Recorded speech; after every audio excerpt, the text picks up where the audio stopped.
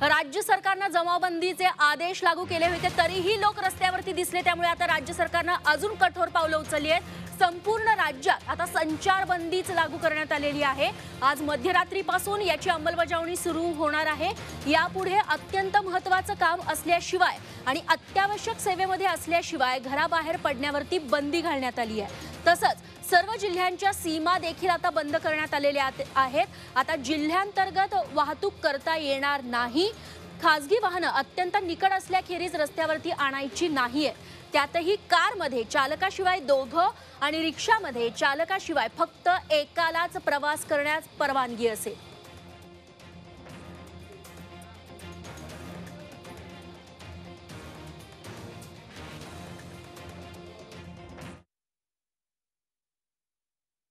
राज्यभरामध्ये आपण एकशे चव्वेचाळीस कलम लागू केलेलं आहे. संचारबंदी ही सुद्धा आजपासून मला लागू करावी लागते. याचं कारण असं की आज सकाळी काही ठिकाणावरून मला माहिती मिळाली की अनेकदा अनेक वेळेला असं लोकांना वाटत असतं की आता काय तसं तेवढं संकट वाटत नाही आहे आपण एक फेरफटका मारून येऊया. हे मौज मजा करण्याची किंवा करण्याची वेळ दिवस नाही आहेत वेळही नाही आहे आणि म्हणून मी राज्यभरामध्ये आपल्या सरकारने ठरवलेलं आहे की नाईलाज म्हणून संचारबंदी जाहीर करत आहोत. या संचारबंदीमध्ये चारापेक्षा अधिक किंवा पाचापेक्षा अधिक लोक एकत्र जमता कामा नयेत. आज आपण आंतरजिल्हा म्हणजे जिल्ह्या जिल्ह्याच्या सीमा सुद्धा सील करतो आहोत. याचं कारण असं की सुदैवाने अजूनही महाराष्ट्रामध्ये काही जिल्हे किंवा काही ठिकाणं अशी आहेत की तिथे हा विषाणू पोचलेला नाही आहे ह्या जागा आपल्याला पहिल्या प्रथम सुरक्षित ठेवायच्या आहेत. जिथे हा पोचलेला नाही आहे तिथे तो पोहोचू द्यायचा नाही आहे आणि जिथे हा पोचलेला आहे त्याला तिथल्या तिथे आपल्याला खतम करायचं आहे.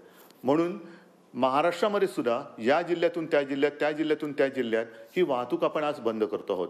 या वाहतूक बंदीमध्ये साहजिकच आहे खाजगी वाहनं आली बसेस आल्या इतर काही गोष्टी आल्या. शहरामध्ये सुद्धा बस अत्यावश्यक सेवेसाठी वापरली जाते आहे. ट्रेन लोकल्स बंद केलेले आहेत.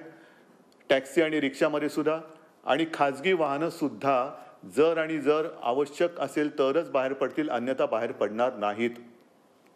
अन्यथा बाहेर पडणार नाहीत. आता या वाहनांमध्ये सुद्धा चालक अधिक दोन अशी टॅक्सीसाठी आणि खाजगी वाहनांसाठी परवानगी असेल.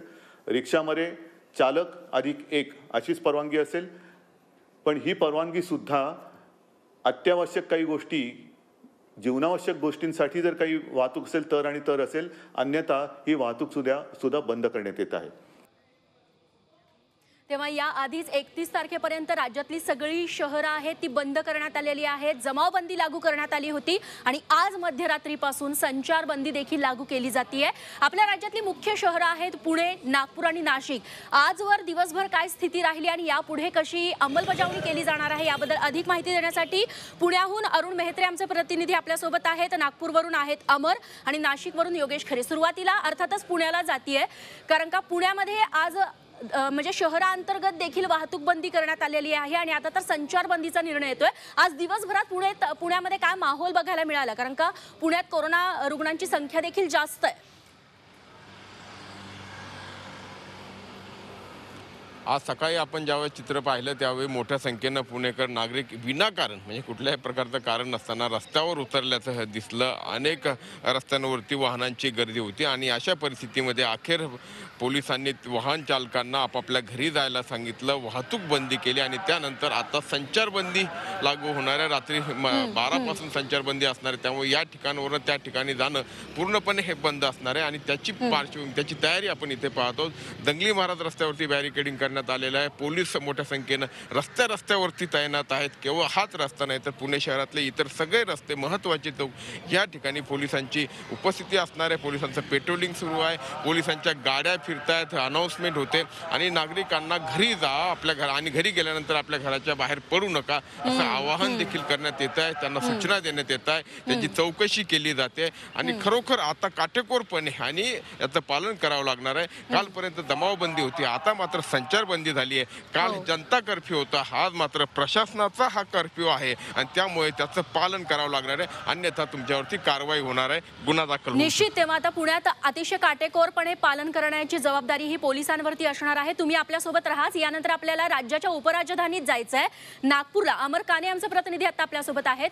अमर आज अनेक ठिकाणी कोल्हापूर असेल मुंबई असेल ज्यांनी ज्यांनी जमावबंदीच्या नियमांचं पालन केलं नाही त्यांना पोलिसांनी प्रसाद दिलेला आहे. उपराजधानीत आज दिवसभरात काय चित्र बघायला मिळालं?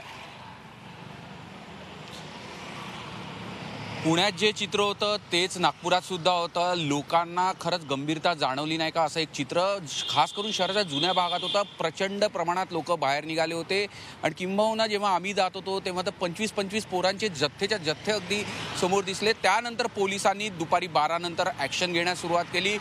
अनेक ठिकाणी नाकेबंदी केली आणि काड कडक कारवाई करण्यास सुरुवात केली. संध्याकाळी चार वाजता तर खुद्द क- पोलीस कमिशनर रस्त्यावर उतरले होते. त्यांनी लोकांवर कारवाई करण्याचे कडक आदेशसुद्धा दिले. दिले आणि ते स्वतः सुद्धा अ, शहरात फिरलेले. खरे तर लॉकडाऊन मध्ये सगळ्यात प्रथम जे झालं होतं नागपूर शहरात झालेलं होतं. पहिल्या दिवशी जेव्हा लोकांनी आव्हानाला प्रतिसाद दिला त्यानंतर मनपा आयुक्त सुद्धा रस्त्यावर उतरले होते.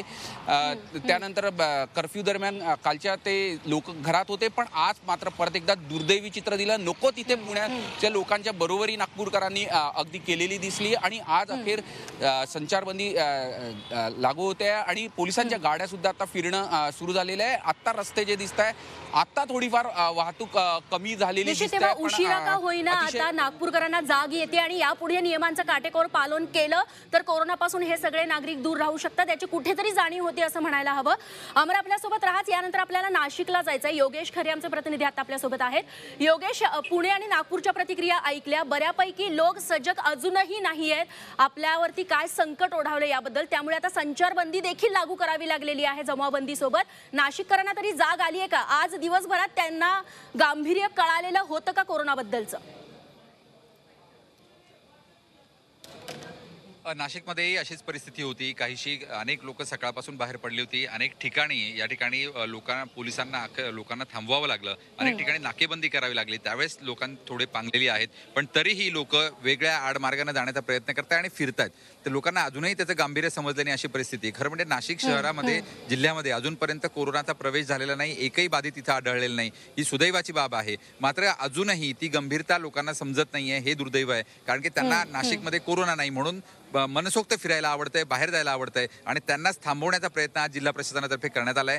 जिल्ह्यातील प्रशासनाने आज नाकेबंदी संपूर्ण शहरामध्ये केली आहे. जिल्ह्यातील लोकांनी आजूबाजूला पण जाऊ नये शहरामध्ये येऊ नये असा प्रयत्न या ठिकाणी करण्यात येतोय. आणि इतकंच नाही तर पंचवीस तारखेच्या सकाळपासून या ठिकाणी जिल्हाबंदी कुठल्याही बाहेरचा पुणे मुंबई परिसरातला माणूस नाशिकमध्ये येऊ शकणार नाहीये. त्यामुळे आज नाशिकची जी परिस्थिती आहे ती तशीच अबाधित ठेवण्यासाठीचे प्रयत्न जे आहे ते प्रशासनाकडे केले जात आहेत. मात्र नागरिक सुदैव नागरिक अजूनही जागरूक होत नाही आहे हे दुर्दैव आहे. निश्चित योगेश जर नागरिकांनी आधीच या सगळ्या सरकारी निर्णयांचं गांभीर्य ओळखलं असतं फक्त जमावबंदीला उत्तम प्रतिसाद दिला असता तर संचारबंदीची वेळ आली नसती मात्र राज्याला आता कठोर पावलं उचलावी लागलेली आहे तेव्हा जनतेने देखील सजग होणं आणि सरकारला सहकार्य करणं अपेक्षित आहे. योगेश अमर अरुण तिघांचेही धन्यवाद. ही सगळी सविस्तर माहिती आपल्या प्रेक्षकांपर्यंत पोहोचवल्याबद्दल.